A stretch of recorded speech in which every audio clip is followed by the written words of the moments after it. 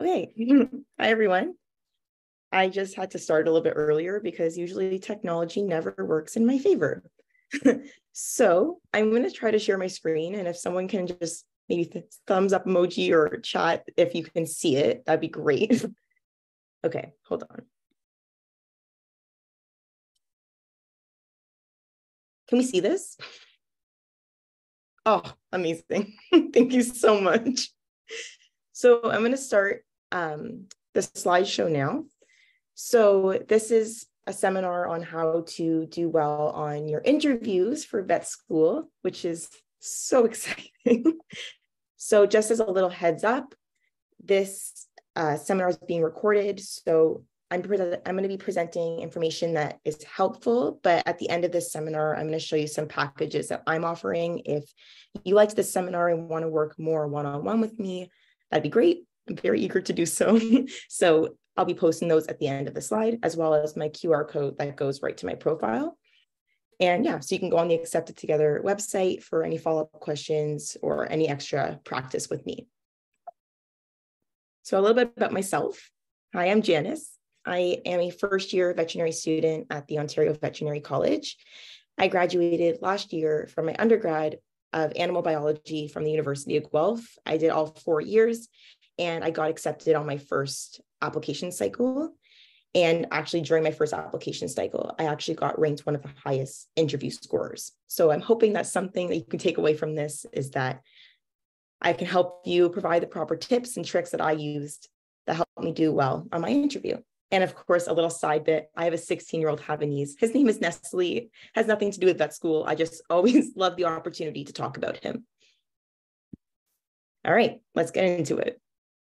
So just an overview of the entire application cycle. So I'm sure you guys have already submitted your BIF that had all of your experiences and your reference letters, and you did your Casper, that dreading, terrible Casper. And I'm sure you guys all did great. And now you guys are anxiously waiting for that brutal long waiting period for your interview. I did it last year. I totally understand how long this waiting game is and how anxious you are and listen, I hear you, your feelings are valid, but this is the last step to hopefully I get to see all of your faces next year at the Ontario Veterinary College. So the VMI veterinary medical interview or just the veterinary professional interview, I think is what we called it, it's a multiple mini interview format, but virtually. So the MMIs essentially are separate rooms in person in which you would see the question outside the door. You would have two minutes to reflect on the question, and then you would enter the room, and there would be an interviewer there, and you'd have five minutes to explain your response. So it's pretty much the exact same thing, except that it's virtual. So you'll be getting a link with the website. I believe it was called Kira's Kira Talent, Kira Platform, something along that line. And it's the exact same thing. So you'll open up the interview, there'll be a question that pops up on your screen. You'll have two minutes to read the question. You have a scrap piece of paper that you're allowed to use, and you can kind of write down your thoughts or what you want to say. And then you'll be automatically entered into this room where you'll have interviewers. Mine were veterinarians, and you will have five minutes to answer your question and it's only four questions. You only have four different stations. After the five minutes, it automatically moves you into the next room. So you really don't have to do anything, it just automatically moves you. And all of the questions are about you. So for my interview, we didn't have any ethical based questions because you already did the Casper for it. So they're really just trying to get to know you as an individual. And it's really just your opportunity to shine in five minutes. So I just wanted to put a little disclaimer in because what worked best for me in my interview prep might not work best for you. I reached out to other people I knew when I was applying and they gave me advice that personally didn't work for me. I'll still tell you what they did because hopefully it will help you. But I just wanted to put that out there that don't follow what I did verbatim because, again, everyone learns differently, everyone works differently. So I just wanted to say that. I also wanted to emphasize to acknowledge your stress, your success, and your accomplishments because everyone had a different route to get into vet school. And I don't want you to think that you don't have as much experience as someone else because your experiences are what make you you. They're what have driven you to want to become a veterinarian. They're what make you want to be an active member in the veterinary community and working with people and animals and the environment and society as a side piece. So I just wanted to say that even though you think you only have X amount of animal experience, but you have really cool extracurricular experience, that's amazing. Or vice versa, still amazing. Just wanted to say, no matter what, you got this. You worked really hard on your application to get here, and it's really important to acknowledge that. So when I got asked for an interview, I was terrified. so the first thing I wanted to do, because I had no idea where to even start, was to look at the OVC website because I was wanting to know really what made OVC so desirable to me. Is it just because it was the only school in Ontario? Maybe, but I wanted to see what other skill sets they had that really made me want to become an OVC alumni one day and say that I learned here for four years under great faculty, great staff, and under great research opportunities. So OVC is really big on One Health, which I'm, if you guys don't know what One Health is, it kind of implements people, animals, and the environment and how they're all interconnected. And veterinarians play a huge role in the One Health community. And they have really cool research articles about that. If you ever wanted to take a look or mention it in your interviews, I just thought it would help me kind of understand why the school has such an amazing reputation. And on top of that, I learned about the curriculum and I looked at the courses that were being taught to see if those were of interest to me. And they were, thank goodness. And just the community at OVC. So, on top of the great research and faculty and curriculum, the people at OVC, it is such a small, tight knit community. And they do many things to try to make our social well being amazing, whether it be through sports or events, even like lunch talks held throughout the school. They really try their best to make that school a very enjoyable experience. And that's all stuff I found on the website before my interview. And it really just solidified that this is what I wanted to do. Then I reviewed my BIF. So, although the interviewers don't have your BIF in front of them, you it's really important to, in my opinion, review your BIF because all the questions are about you. So if you can really be, if you can easily pull out an experience that you've done, it will make your answers a lot easier to say and it won't be rambling and it won't be all over the place like jumbling because you know what you did. Nothing in your BIF was a lie. And what i thought was easy for me was to BIF my to group my BIF experiences together. So for example if i was trying to think of times where i showed empathy i would look at my BIF and see experiences where maybe i demonstrated empathy here whether it was as a camp counselor or when i was working with someone at a clinic and I had to display empathy, whatever it is, I tried to group them together so that if I were to be asked a question like that, I would have answers right away and I would take the two minutes to not freak out and I can kind of jot down what I wanted to say and it would come out much more naturally. After I would group my experiences together, I would try to figure out how all these experiences would make me a good vet. So if the question was, tell me a time you experience empathy and I already have all those experiences grouped together, why would those experiences make me a good veterinarian? Why is empathy so important as a vet or in society or as a professional? So I tried my best to kind of relate the questions that I made up to why it would make me a good veterinarian so that I could be explaining to the interviewer that I understand the many qualities and aspects that it takes to become a good veterinarian. And here's how I proved it. So I guess jumping to my next point was making up personal questions relating to my BIF. So I really searched up general personal interview questions. I'm pretty sure that's the next slide. Yeah. So I looked at general personal interview questions on Google. Like that's it, verbatim, general personal interview questions. And I took the ones that related the most to medicine or veterinary medicine without it getting too specific because the general personal interview I would take those experiences, put them in a Word document, and then answer them. But I cannot stress this enough answer them in bullet points. If you're going to take anything away from this, to, uh, this seminar, is to make bullet point answers for your BIF.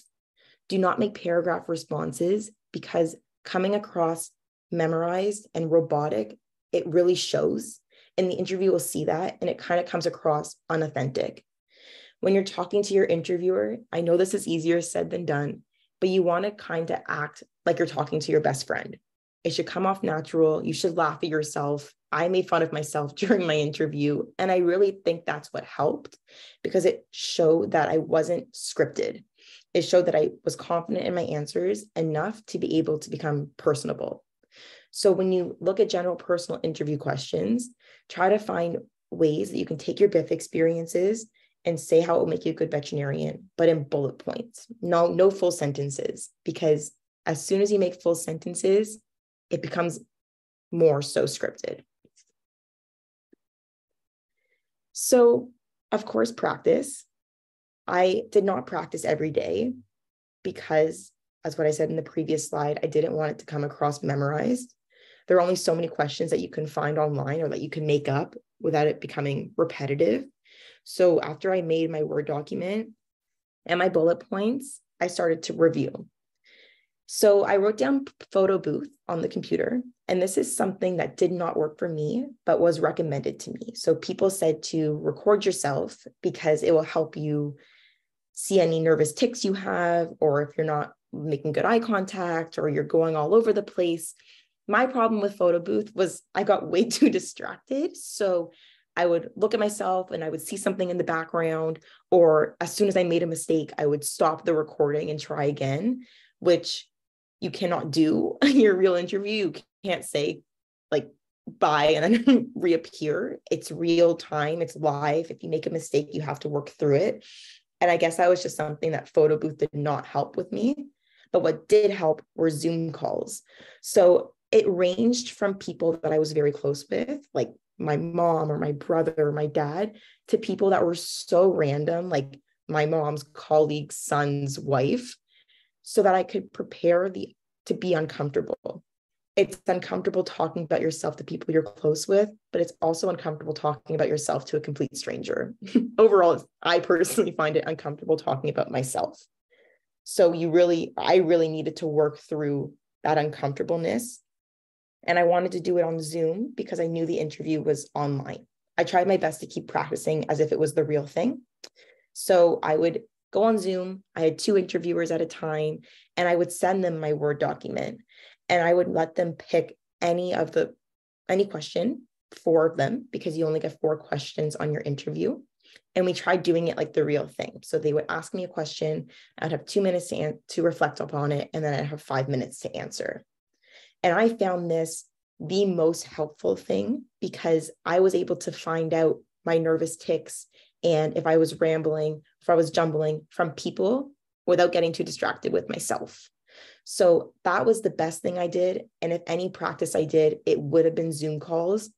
I would say that I probably practiced maybe every two days when I first got asked for an interview. And then maybe the week before my interview, I would do maybe every other day. I definitely didn't do it every day because it was overwhelming. And I think if I studied too much for it or prepared too much for it, I would almost psych myself out. And also focusing on the public the public speaking skills I acknowledge during Zoom calls. So I'm one that talks fast. I use hand gestures a lot. Sometimes my eyes would kind of go all over the place. I had a lot of skills I needed to work on. So after getting the constructive feedback from people that were helping me, I would take a sticky note and put it in like right above the camera, right above the webcam that would say slow down. That way I would be looking at the sticky note the entire time. So it showed that I had good eye contact and it was telling me to slow down. So I was slowing down. But again, I know how nerve wracking the interview experience is. So talking really fast comes from nerves and you only get five minutes to answer. So it's kind of just acknowledging it in the back of your mind that you want to try to talk slow and enunciate your words is really important. And with hand gestures for me, you can see I'm kind of talking with my hands now. I would prop my computer up over like three textbooks. That way I was still able to use my hands, but they didn't see it. I knew the hand gestures were out of the question for me. I always talk with my hands. And I just wanted to find a way for it to be less distracting. So that's what worked for me. The day of my interview, I had this expectation that I was going to sleep in, make a nice breakfast, go do a workout, to just distract myself, I woke up at three o'clock in the morning for my interview that was at 1 p.m.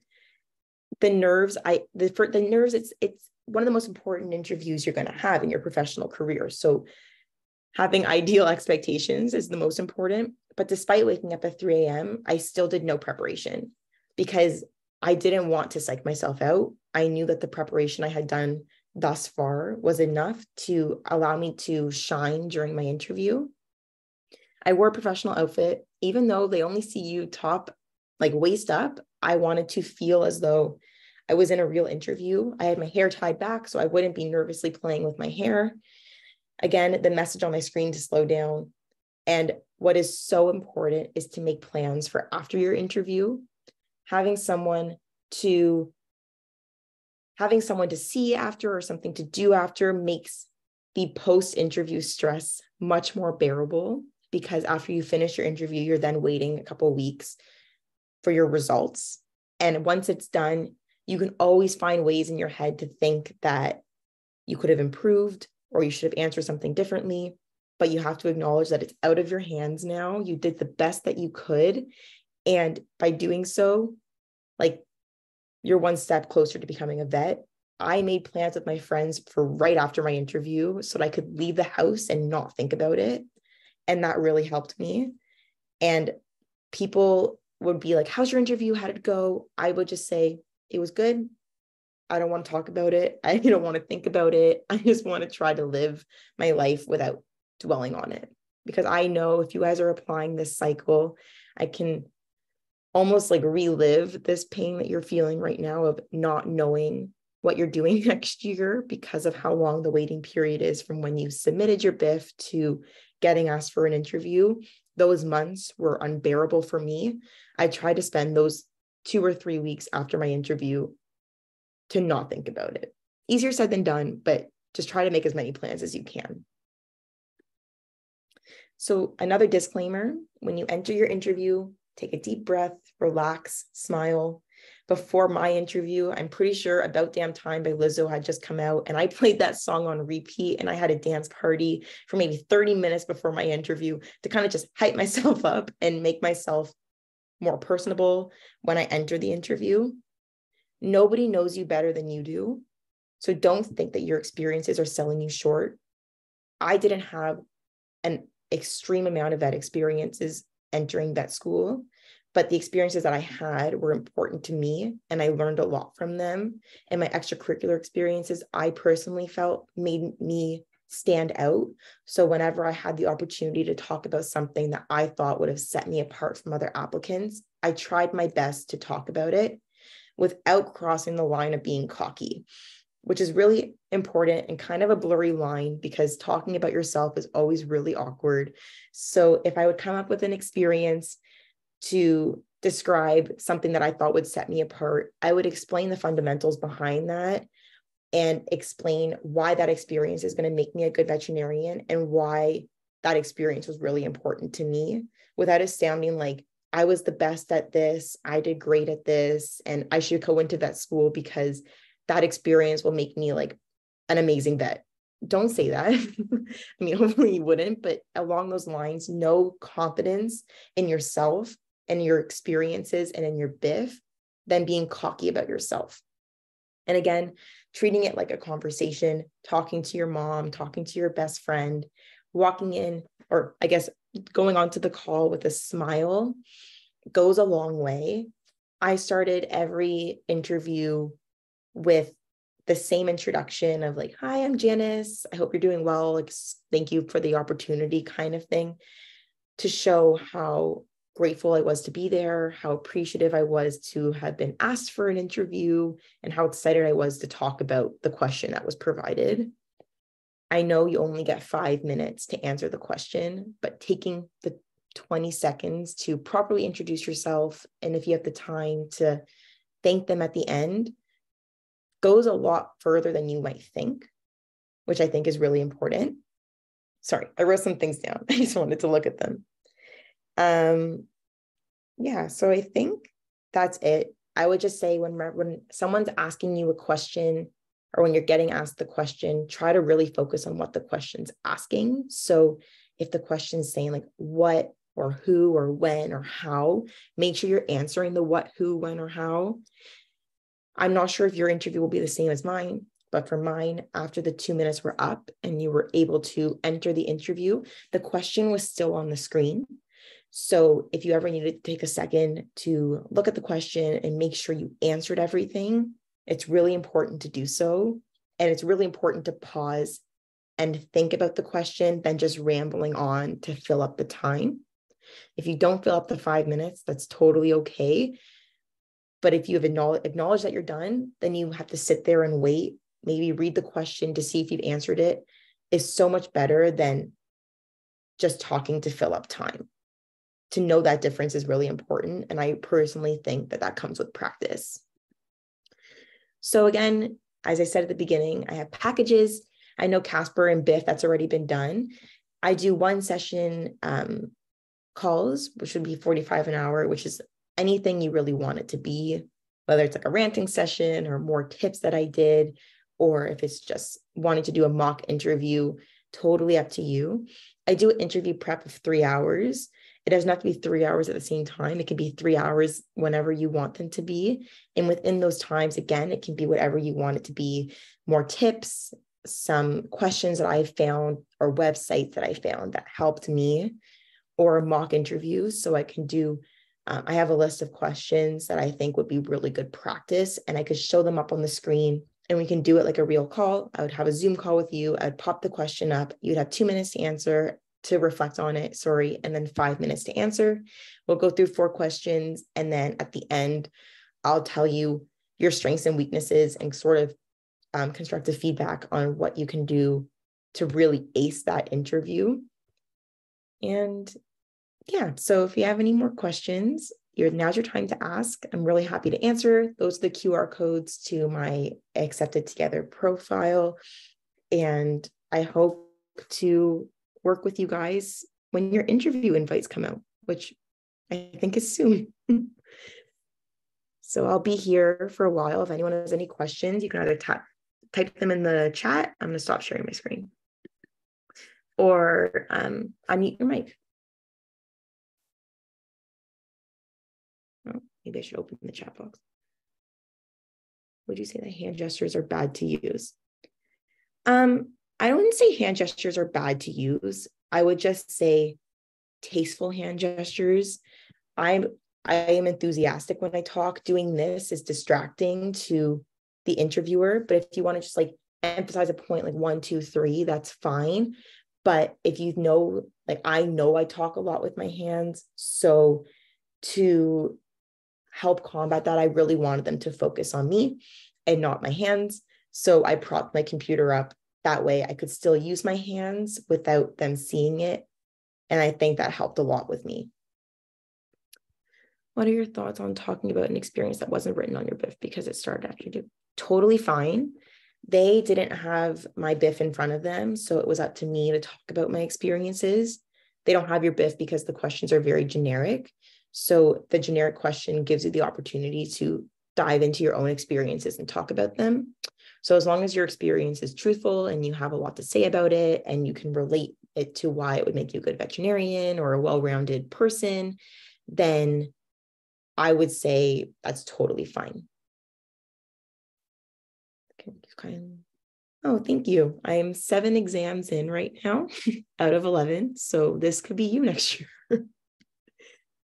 Is it a different set of interviewers for each of the four questions? Yeah, I should have mentioned that. So you have four separate rooms, and each of the separate rooms would have a different interviewer. So if you totally bomb the first station, no one else will know about it. If you want to use the same example for all four stations, which I did, you can totally use it because the interviewers are different for every room. Did you just do last cycle's VPI? The year before that it was a bit different. Yeah, so I just did last year's VPI. The one two years ago was personal questions where they specifically asked questions off their BIF. Our year was not like that. It was a generalized personal interview. Uh, so they only took generic personal questions that it was up to you to relate it to yourself, which is why reviewing your BIF is so important because it's your opportunity to talk about yourself. Do they email the last week of April as well? When do they send you? Um, mm, I don't remember when they emailed me. I don't think it was in April. I think it was in May, but don't I don't know if it's going to be the same every year. I'm pretty sure I got asked in May for an interview, and I got accepted mid to end of June. And I think rejection emails would come out at the same time. Is there any interaction between you and the interviewers? No. So it's really awkward. You have five minutes and you're the only person talking. You walk in or you you enter the room, sorry, and you introduce yourself. And they, for me, they smiled when I introduced myself. And then they were completely straight faced the entire time, which is really hard because I'm someone that likes to play off people's emotions and they didn't exhibit any emotions. So you just kind of have to hope that you're doing the best you can except one interview i did make my interviewer laugh and it was because i was fully making fun of myself. And i think that also helped because it showed that i was kind of joking around with them and i couldn't keep the straight face.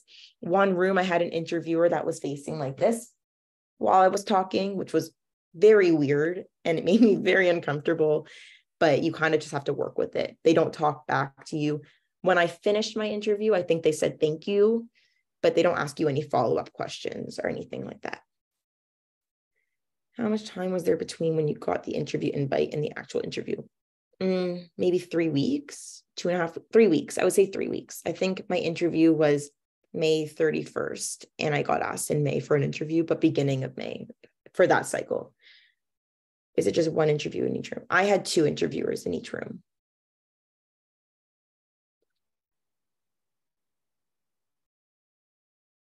They didn't release our statistics this year for our class. And I feel very bad for the people applying this year because it's very frustrating.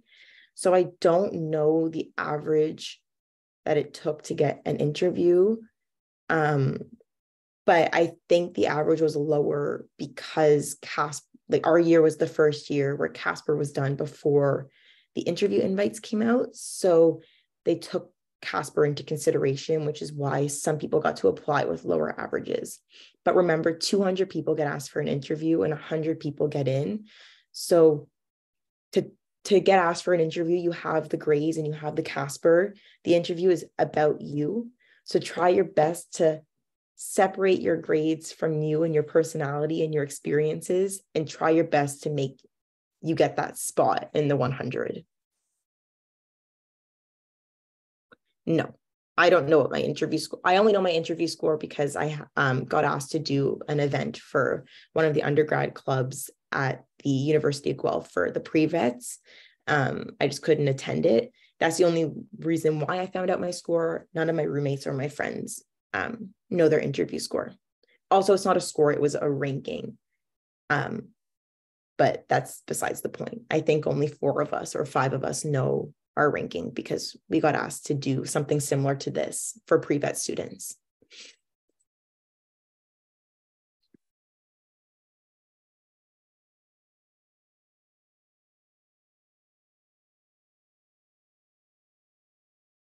My pleasure. Good luck with your application. I hope to see you here next year. I'll stick around for anyone that has other questions. I hope to work with you guys in the next couple weeks when you all get asked for interviews.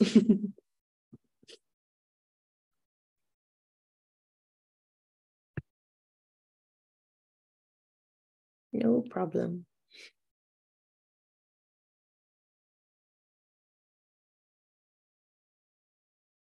My first year at vet school was definitely a an adjustment when I first walked in in September, I was overwhelmed because I always done five course semestered and now we're doing like over 11 courses, year round courses too. So like courses don't end in December like undergrad does.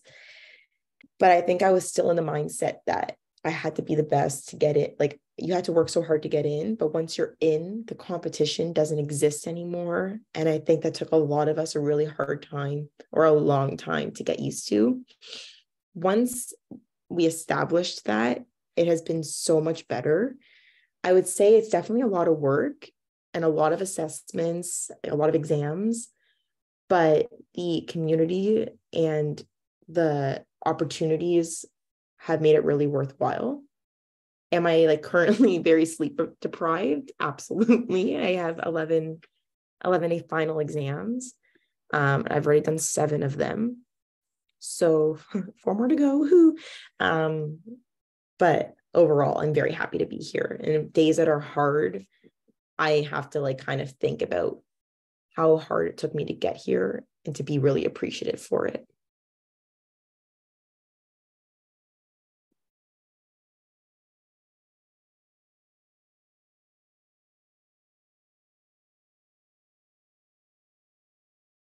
Are you guys all applying this year?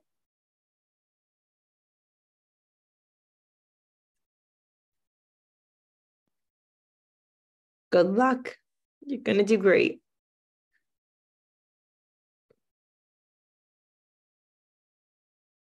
I totally get that. Your feelings are very, very valid and fair. But again, just stay true to yourself. I applied with zero large animal experience and I'm here.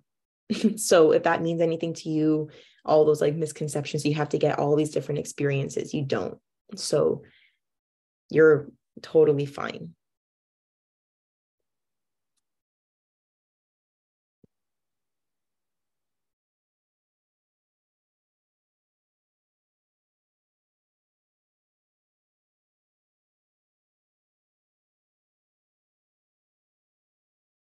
Thank you so much. I will I will need it.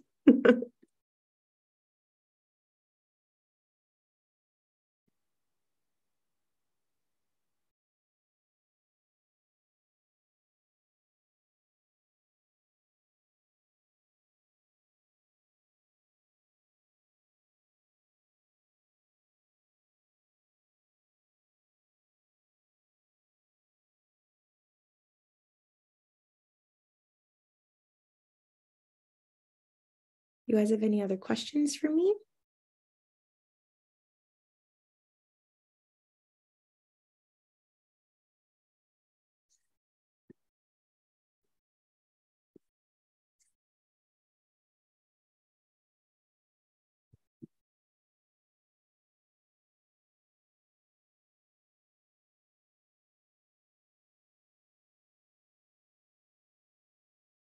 I can leave my QR code up if you want to um, work with me. Thanks so much.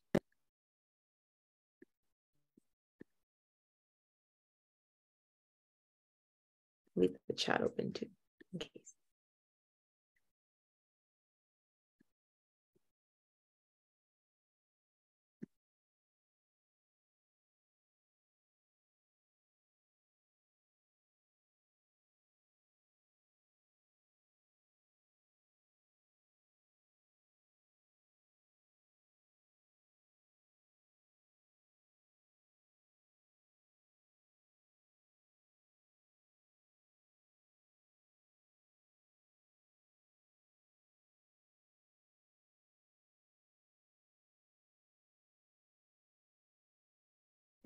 Excited to work with you.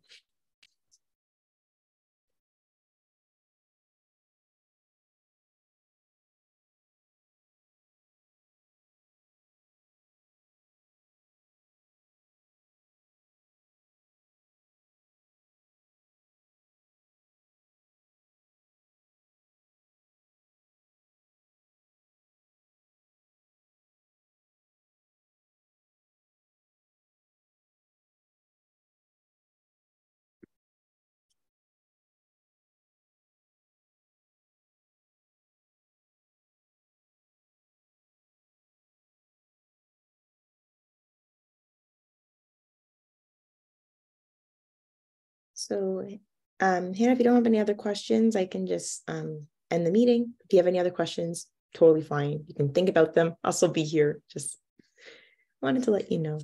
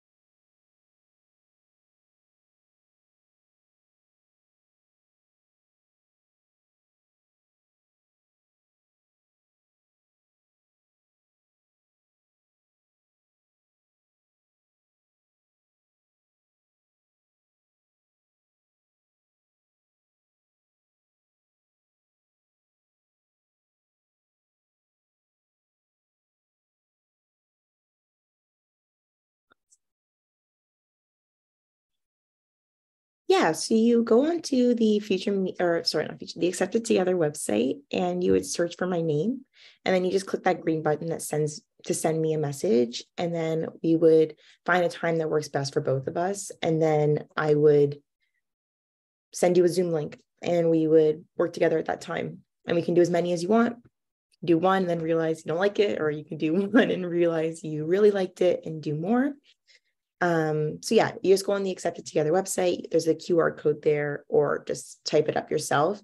Um, and then you search my name, send me a message.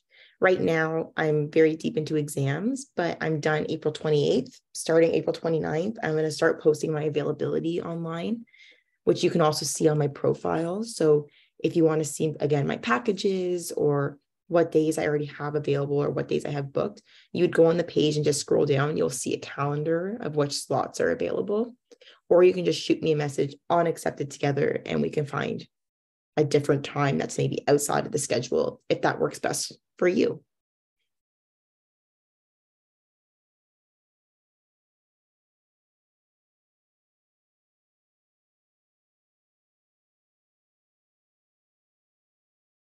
My pleasure. Good luck with your application. I hope I see you soon and seeing your face at OVC next year.